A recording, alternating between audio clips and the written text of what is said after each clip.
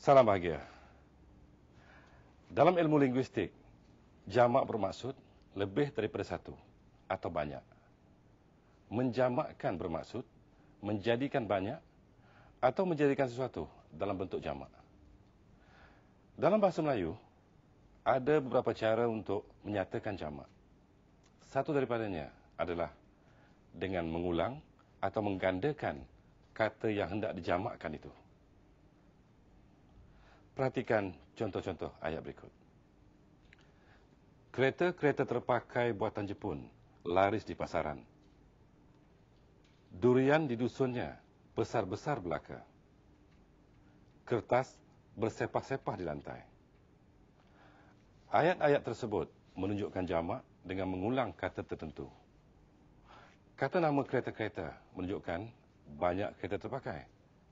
Kata adjektif besar-besar bermaksud banyak buah durian yang bersaiz besar. Dan kata kerja bersepah-sepah bermaksud banyak kertas yang bertaburan. Oleh demikian, jika kita ingin menegaskan kereta atau durian atau kertas bagi menunjukkan jamak, maka kesemua kata tersebut wajar digandakan. Sebaliknya, jika kata laris atau besar atau bersepah yang hendak ditegaskan atau dijamakkan, ulangilah kata laris, besar dan bersepah itu. Jangan sesekali digandakan kedua-dua kata nama, kata adjektif dan kata kerja itu.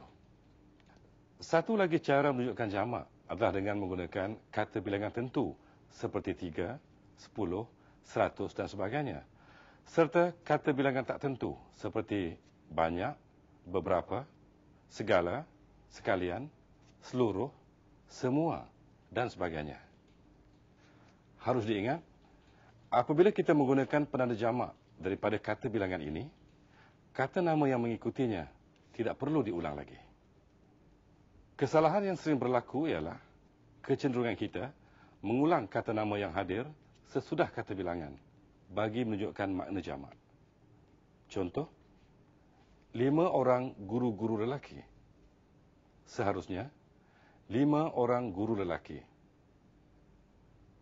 Kebanyakan murid-murid. Seharusnya, kebanyakan murid. Kadang-kadang kita tidak perlu menggunakan penada jamak bagi menunjukkan bilangan banyak. Kerana kita dapat mengenal sesuatu ayat itu mendukung konsep jamak atau tidak. Contohnya, sebakul penuh pisang dibawa ke masjid. Makna sebakul penuh pisang yang jamaknya ditandai oleh kata bakul. Mustahil sekali satu bakul dibawa hanya berisi dengan sebiji pisang. Seperkara lagi adalah tentang penggunaan penjuruh bilangan yang mengikuti penanda jamak. Ada sesetengah kata bilangan yang tidak memerlukan penjodoh bilangan. Sebagai contoh, kita tidak mengatakan segala ekor binatang atau segala ekor binatang-binatang. Semua orang pekerja atau semua orang pekerja-pekerja.